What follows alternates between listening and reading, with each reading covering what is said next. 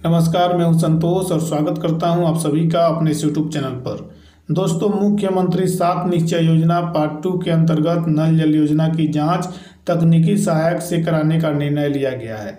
जाँच करने के दौरान दो सौ रुपया प्रति वार्ड पीएचईडी के माध्यम से दिया जाएगा, जो राशि ऑनलाइन के माध्यम से दी जाएगी। सहायक द्वारा एक वार्ड में जाँच प्रक्रिया पूरा करने पर रिपोर्ट अपलोड करने के बाद उन्हें तुरंत दो सौ रुपया का भुगतान कर दिया जाएगा। इसको लेकर पंचायती राज विभाग के द्वारा सभी जिला में निर्देश भेज दिया गया है। अब सवाल आता है कि जाँच किस बिंदुओं पर की जाएगी? तो पहला पाइप क्वालिटी की जाँच यानी नल जल योजना में किस क्वालिटी का पाइप लगा है, उसमें का पानी जो है पीने लायक है या नहीं? दूसरा है कि पाइप का लेआउट कहाँ से कहाँ तक ले जाया गया है।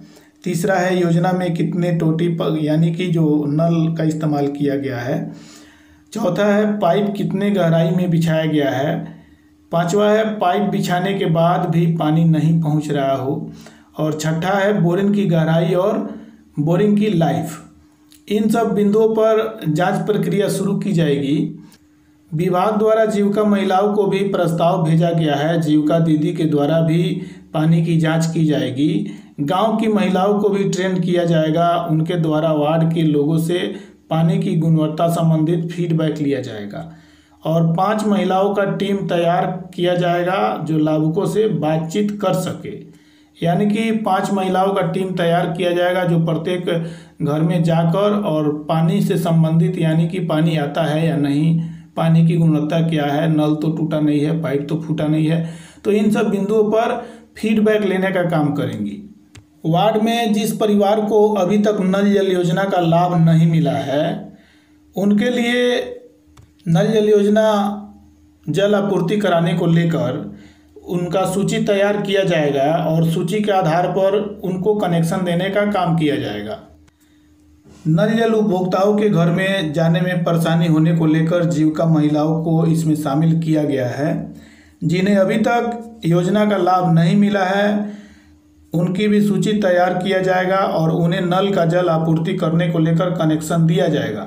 इस तरह से वार्ड में कोई भी परिवार नल जल योजना से वंचित नहीं रहेगा।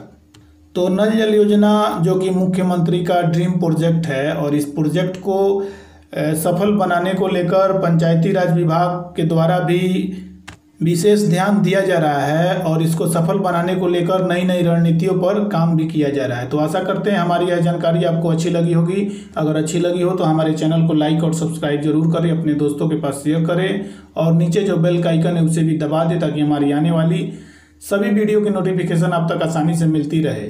और अधिक जानकारी के लिए आप हमारे वेबसाइट पर विज़िट करें, जिसका लिंक आपको डिस्क्रिप्शन बॉक्स में मिल जाएगा। मिलते हैं फिर अगले वीडियो में। तब तक के लिए जय हिंद।